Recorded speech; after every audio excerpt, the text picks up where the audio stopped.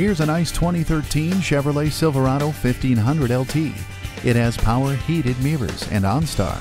It also features fog lights, privacy glass, and a multifunction steering wheel. Add to that Bluetooth and dual zone climate control, and you have an attractive Chevrolet looking for a new home. We'd love to have you take it for a test drive. At Don Hewlett Chevrolet Buick, we make it easy. We are conveniently located at 7601 South I 35 in Georgetown, Texas.